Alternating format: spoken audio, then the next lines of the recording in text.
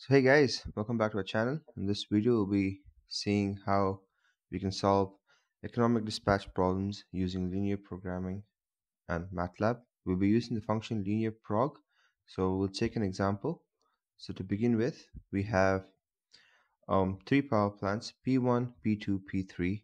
The cost per megawatt hour in each power plant is 3 euros and then 4 euros and then 3.5 euros per megawatt hour and then the minimum value of megawatts the power output is 30 megawatts and the maximum is 60 for plant 1 and then for plant 2 it's 40 and for plant 3 it's 60 for plant 2 it's 40 to 65 for plant 3 it's 20 to 55 and the demand for the next jar is assumed to be 100 145 megawatt hour and then we also have an additional constraint, an inequality constraint, that is P1 plus P3 is less than or equal to 95 megawatt.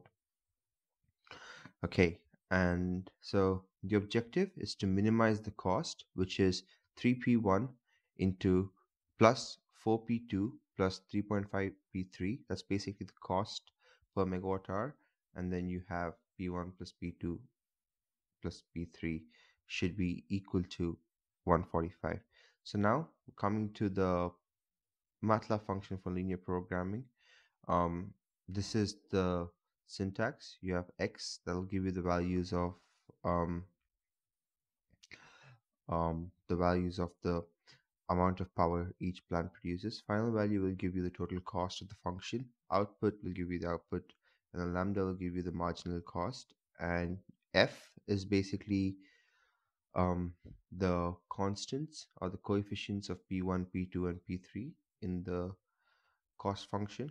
And then a is a capital a and small b is b is the right hand side of the inequality constraint and a is the left hand side of the inequality constraint since it's p1 and p3 um, coefficients of p1 and p3 is 1 and then p2 is 0 because the p2 term does not exist and then a equality and b equality uh, helps satisfy the equality constraint. You have 1 1 1 that is p1 plus p2 plus p3 will give you 145 and then you have the lower bound and upper bound constraints as per the um for each plants as well. So now let's go to matlab and let's have a look at our code.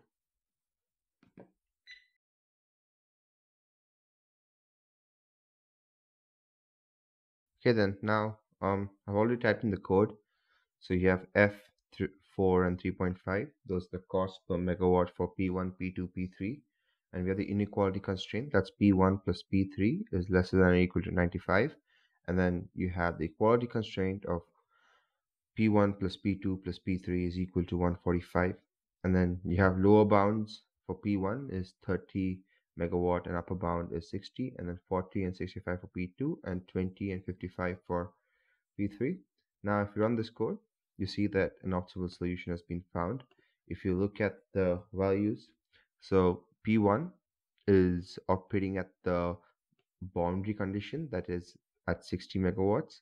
P2 is operating between it it's 50 and then p3 is also between the upper bound and lower bound which is 35 so the marginal so the marginal cost of the equation will um or this problem will not be the same for all power plants because it's operating at because P1 is operating at the boundary condition. And if you look at the final cost, we get F well, we will get um 502.5 euros. So yeah, I mean that's it for this video. I hope you guys like the video. Can you subscribe to our channel? And if you have any questions, do drop in the comment section below. Thank you.